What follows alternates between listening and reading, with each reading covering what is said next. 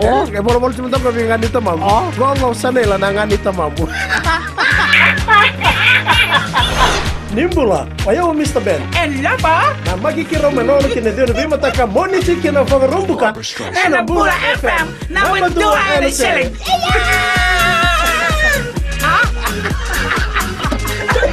How would you like to spend your morning? You could spend your morning like this.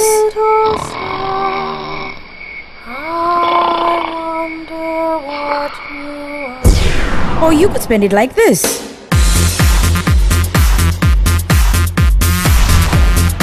Tune in to the morning ride every weekday morning from 9 a.m. till 12 p.m. right here on Today FM, Today's Seed Music.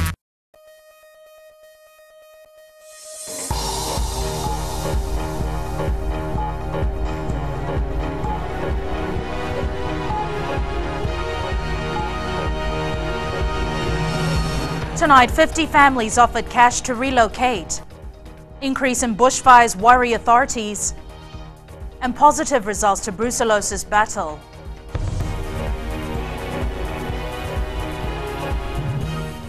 Good evening, I'm Jackie Spate, and you're watching FBC News.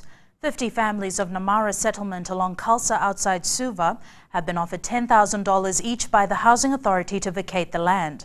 The decision was a result of increasing demand for housing in the Central Division, which, according to the authority, is reaching a critical point. Make along with this exclusive story. 69-year-old Taiwane Manilulu came here in 1960 and this has been a very painful experience for him. I don't know what uh, I don't know what reason I But you are happy. You are happy moving out from here. not so very happy. You know, a housing told us if you not do this, then uh, you will do something again. The last thing we want to do is to move people out without providing them any sort of backup plan. I'm told this is the seventh house in this community to go down. And there are other homes here that have accepted the offer from Housing Authority and will be dismantled in the next few days.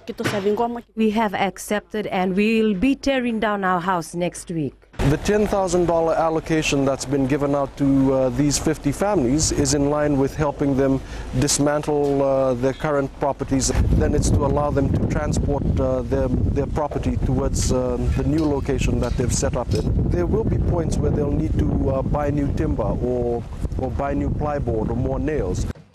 The land is in the parcel of land leased to Housing Authority by the Matangali Nawavatu of Kalambu for residential development, and already people have secured lots here. But some, like Tomururu, aren't shaken by Housing Authority's decision. Our being here, if we follow another course, we will win this place. For the past few weeks, we have been negotiating with these families and we are exhausting all avenues. Developments such as these is closing in into this settlement, and what's left of it now are homes sitting on an island. And it's the time for these residents here to seriously think about the offer by Housing Authority.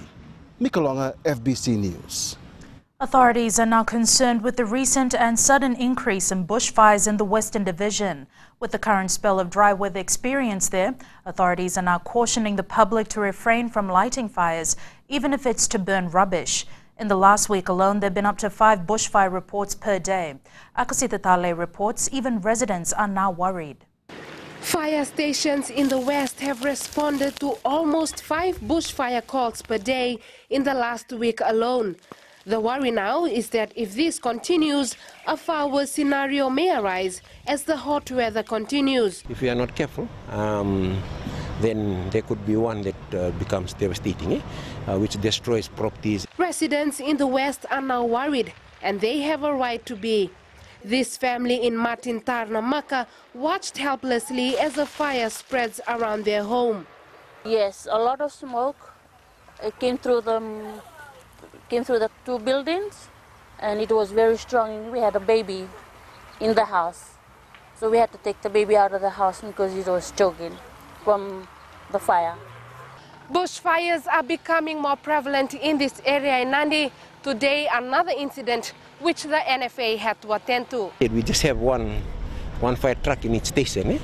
and uh, depending on where we get the calls, we won't be able to respond to all bush and grass fires, and that's the worry that we have. Eh? Apart from that, uh, is the, our ability to respond to property fires. uh, in cases of responding to this fire. Despite numerous advisories, it seems some people continue to be complacent, not realizing the danger a small fire can lead to. It's because of this that the NFA has roped in police to start penalizing those caught for causing such fires. Akusita Talei, FBC News. The fight against brucellosis is progressing well with news of a huge drop in the incidence rate. The Agriculture Ministry is now ready for its eradication program. Epelito Kawasa reports.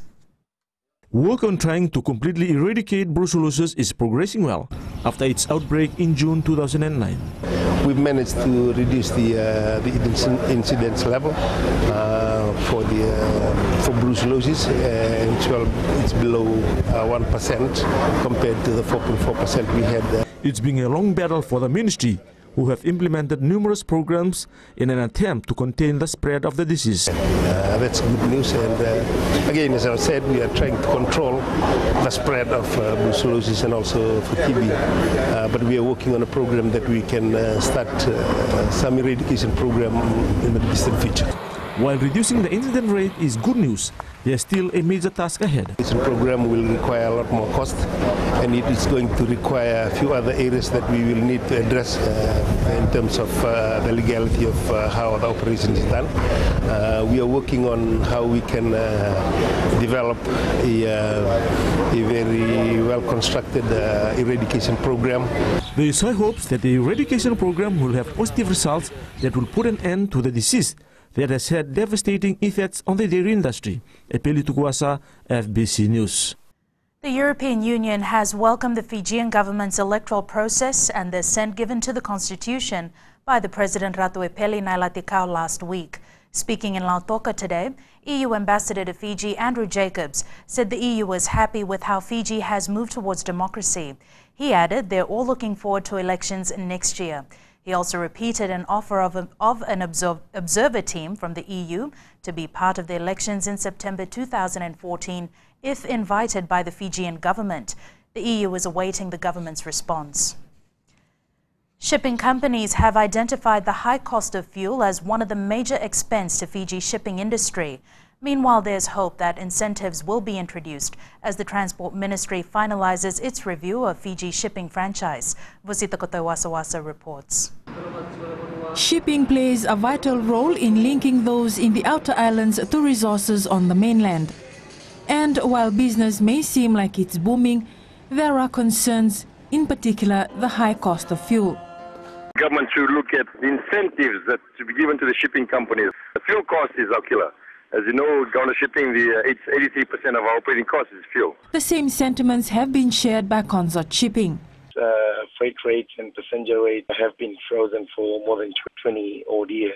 And uh, one of the biggest uh, factors that shipping industries in Fiji are facing is the fluctuation of fuel prices and the high amount of fuel prices that uh, we are paying.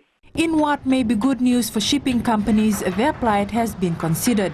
With the reviewing the, the scheme of the current routes that the routes that we have, also with the current um, the current uh, contract prices that we have in place, uh, we must bear in mind that uh, in terms of transport, about 70 to 80 percent of your cost is in the, in the fuel costs. Eh? Luke Naisara says a huge challenge for them is ensuring that all parties benefit from the review. The next step for the ministry is to get public consultations, which is expected to happen soon. Vasita Kotewasawasa, FBC News. After the break, police briefed on constitution provisions. Isambulo binaka, nadhango wadi soni ndalai, nama kio mani wasini ngono borota kina lali ne kabi, maina tolu kina bitu, ena moni dingina por rombuka, ena Bula FM, na bandu ena serre. Bula, I'm Wame. Join me every weekday from 9 a.m. to 2 p.m. on The Center Show with classic hits from the 70s as well as the 80s right here on Gold FM.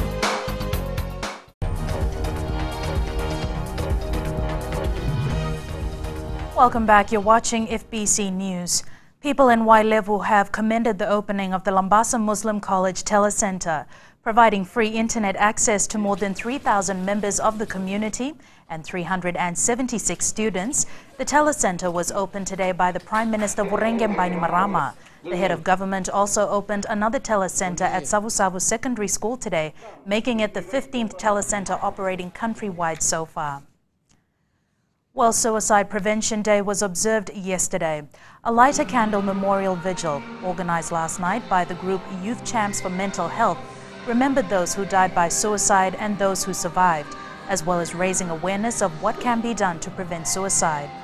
In Fiji last year alone, nearly 10 cases of suicide were reported every month, with around 15 or more attempted cases of suicide being reported.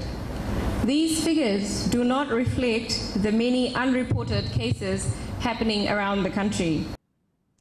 This year's theme for World Suicide Prevention Day was Stigma Break the Barrier to Suicide Prevention. Construction of the $3 million plus backup meteorology office in Suva is expected to be completed before Fiji enters its cyclone season. This is a requirement by the World Meteorological Organization and International Civil Aviation Association. Ritika Pratap reports. If the Nandi weather office goes down, there has to be a backup. This is an international requirement, and according to the Met Office, the backup will be up and running soon to ensure 24-7 operations if the need arises. That is for, for ISO and QMS. A backup for tropical cyclone services, for national weather services in Fiji, uh, regional forecast services for the, for the region, for the Pacific, as well as tropical cyclones, support for hydrology and, uh, and civil aviation. This office will be doing similar operations as the Nandi office, but on a smaller scale. Just like a replica of Nandi, what's available in Nandi, that's what's going to be available here as a backup. The building is expected to be ready by next month. Uh, the building, building completed, as well as the uh, fittings inside, including um, uh, the computing infrastructure, the office equipment. We should be in business before the cyclone season. The construction of the building is fully funded by the government. Ritika Pratap, FBC News. Senior police officers, along with Police Commissioner Ioane Naivalurua, were taken through the new constitution today to better understand its provisions. The workshop, which ended this afternoon, was organized by former High Court Judge Madam Nazhat Shameem. Chanel Sivan reports. Addressing more than 60 participants, Brigadier General Ioane Naivalurua called on his officers to thoroughly understand Fiji's supreme law. I'm not here this morning to seek your endorsement on this one here, or to seek your views on this constitution. This is now the supreme law, and this is the law that is going to guide Fiji, Fijians, everybody that call Fiji their home, and you and I as the custodians of law and honor. The session this morning allowed officers to better understand the Constitution and how it guides them in their line of duty. This is a document or a book, whatever you may call it, that the commissioner, right up to the most junior person, should know. Everybody should be able to understand from page one right up to the last page. I also have intentions, I intend to, in the next few months, to test you in your understanding of this constitution. Former High Court Judge Madam Nazhat Shameem explained the contents of the constitution in detail, challenging participants to share their knowledge in their various divisions. The constitution is 6 to the 48. The Fiji Police Force is the first organization to take this proactive step of creating awareness about Fiji's supreme law. Chanel Shivan, FBC News.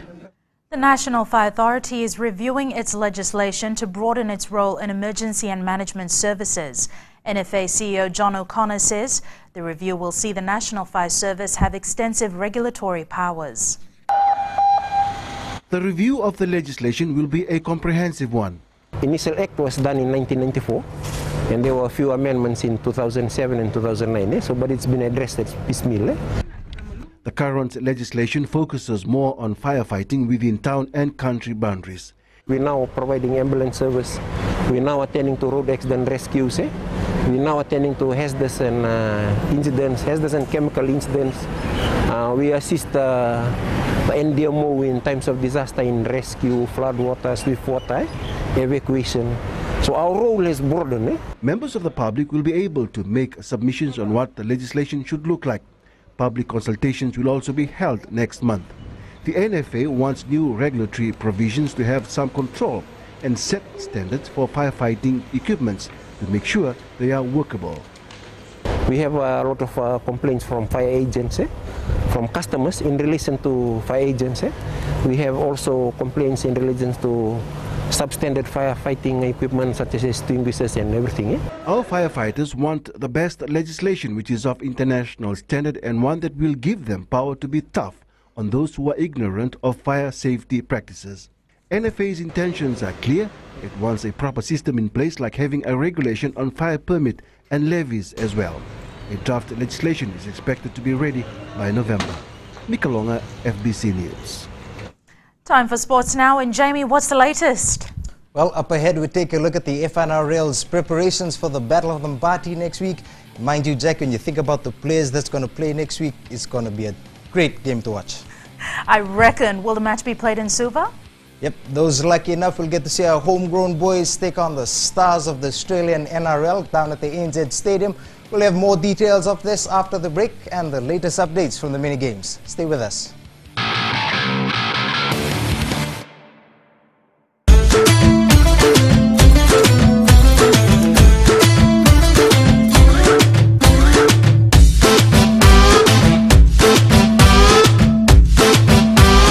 नमस्ते दोस्तों, मिर्ची रफ्तार से मैं अश्निल सिंह शामिल हो जाइए हमारे साथ Monday to Friday from three to seven P M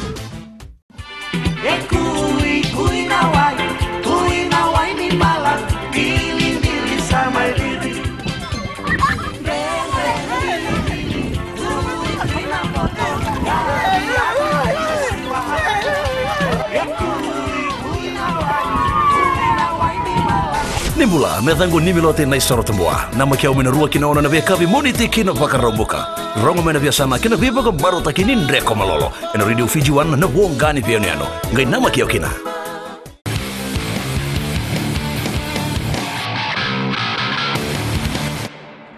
Welcome back to FBC Sports. First up tonight, the Fiji Sevens team has been beaten 31-12 by Samoa in the final of the Pacific Mini Games in Wallis and Futuna. This sees the side settle for the silver medal. Earlier in the day, Samoa also beat Fiji in the round-robin competition 19-12. Still with the seventh side, not, not opting to get players from the extended squad and making the trip to the Pacific Mini Games in Wallis and Futuna has taken its toll on the players. Mosese Saunivanua was injured in the first game and other players were either strapped or bandaged. It seems Fiji's problems when it comes to sevens tournaments are never ending. Shelvin Chand has more. Papua New Guinea started asking questions about Fiji's defense and the Samoans manipulated it and handed Fiji their first loss today. This is what the management had to say. Well, but the boys believe in themselves that they can do the job, even though they know the situation that we had. Um, we try a few areas, but there are a lot of confusion on some of these laws, so we believe that uh, they have to take it to themselves. Players were injured and attempts to get hurdler Choni Waningolo and weightlifter Tevita Tawai to be used as reserves proved futile. Confusion between the two things uh, in which uh, we were told that we could, but it had to be approved by the federation. But it, The management says Fijian players are known for their die-hard attitude and their belief in prayers. If the scenario in the Pacific Mini Games is a prelude to the IRB 7 series, then Fiji is in for a bumpy ride. Shalvin Chan, FBC Sports. The Fiji women's volleyball team won the bronze medal this afternoon in the Pacific Mini Games by defeating Papua New Guinea three sets to one. Fiji started strongly, took out the first set, but then slumped in the second, allowing PNG to capitalize on the mistakes. After a brief talk by coach Kenny Lindise, the team came back determined and won the next two sets. According to the coach, this win will go a long way in the development of the team. Mentioned earlier, this is uh, pretty much uh, a, new, a, new, look team from uh, the normal Fiji team. There's a lot of uh, new players, and um, you know we de we developing this team here for, for 2015. A lot of them have uh, you know had the exposure that was needed, um, and uh, you know I'm really I'm really happy with the results today. I thought they did pretty well, considering that you know this is a development squad. With doping rife in international sports, the Oceania Regional Anti-Doping Association, otherwise known as ORADO, is taking steps to ensure that drugs do not spoil sports in the region. 50 athletes from seven different sports were tested over the last nine days, and ORADO believes this is the right step if doping is to be eradicated. The samples taken have been sent to a lab, and results will be known in a fortnight. ORADO is keeping its fingers crossed that all samples come back clean. We've conducted 50 in-competition tests. Uh, this is uh, valid from the day of day one of competition up until the end of today. Out of the 50, out of the eight sports, we've only conducted seven because beach volleyball has been excluded because it's out in Fortuna. Uh, the importance of this uh, anti-doping uh, in-competition testing is that we're trying to promote and advocate uh, doping in all its form, and the fight against doping in all its form in the Oceania region. 17 players have been named to the Fiji Mbati resident squad for the Battle of the Mbati match against the Australian-based Fijians next week. Listed in the side are four survivors from the 2008 World Cup campaign. Talen Dadakadaka has more. This will be the official attire of the Fiji residents and Australian-based Fijians when they go head-to-head -head next week in the Vodafone Battle of the Mbati clash. This is the final hurdle for these players to make the cut in a side expected to be dominated by NRL reps. Uh, like uh, Ryan Millard, uh, Aaron Groom was also part of the 2008 uh, World Cup. Kane Evans uh, is also playing NRL, but in the under 20s. Uh, we're also looking at players like uh, Tangeli, who was also a product with Marika out of the Vodafone Trophy secondary school competition. The Fiji residence side features four survivors of the 2008 Rugby League World Cup campaign where they reached the semi-finals. Chone Wesele, Osea Sandrau, Semisi Tora and Sebanaya Koroi will be making a bid for a second appearance at the World Meet. Fiji, Fiji chasing young this World Cup. And uh, I know it comes with uh, a lot of hard work and uh, a lot of sacrifice because um, there's heaps of uh, good players, upcoming players as well. This is coming up and uh, I'm really working hard on my weaknesses. Experience is something that uh, comes with the years that you've been playing. But uh, what I believe in is um, even though you have uh, experience, but if you're not prepared holistically, The Australian-based Fijians underwent a trial match in Sydney today to select the 17-member squad and will arrive into the country on Monday. The trials will be held at the ANZ Stadium next Thursday. Chalendo Dakadaka, FBC Sports. That's it from Sports Tonight. Good evening.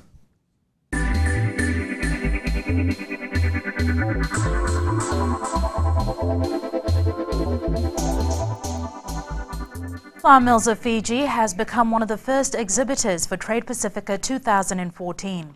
The event is expected to draw more than 100 exhibitors. Trade Pacifica will showcase the products and services that different companies across the Pacific have to offer for the region and the international market. As one of the largest exporters in the country, FMF is hopeful that the Trade Pacifica will develop trade leads and provide a good regional network. We're very excited because um, I think Fiji being the kind of you know location it is and the challenges we face as manufacturers or traders, um, the cost to market is very high. So if we try to market products, you know, just on a platform of uh, of cost or efficiencies, it's extremely difficult. The three-day event will take place from the 2nd to the 4th of April next year.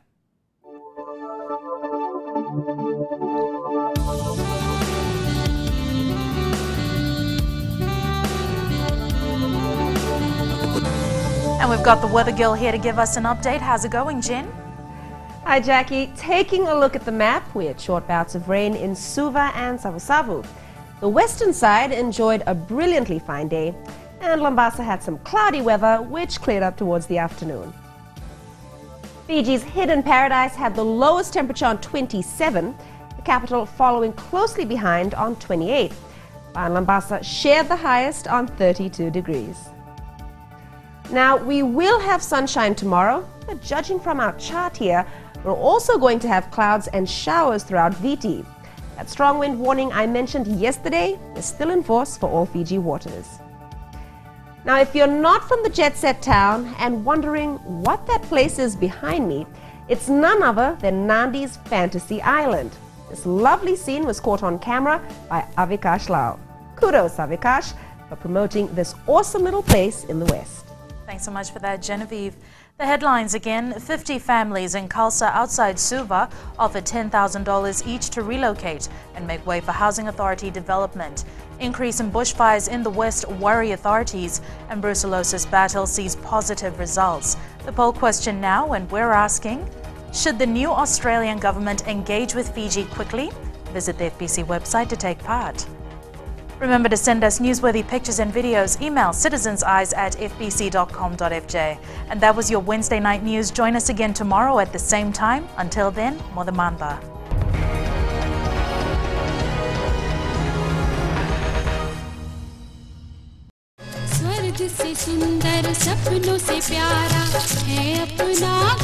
जहाँ हो प्यार का बसेरा और रिश्तों की खुशबू वो है आपका अपना घर संसार Join me on Ghar Sansar, Monday to Friday, 9 a.m. till 12 p.m. Only on Radio Fiji 2.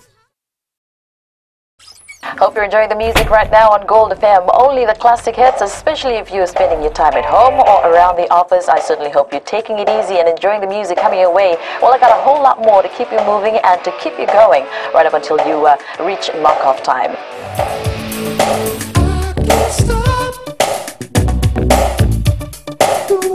I'm Kara. Join me every weekday from 2 to 7 on The Ride, only on Gold FM.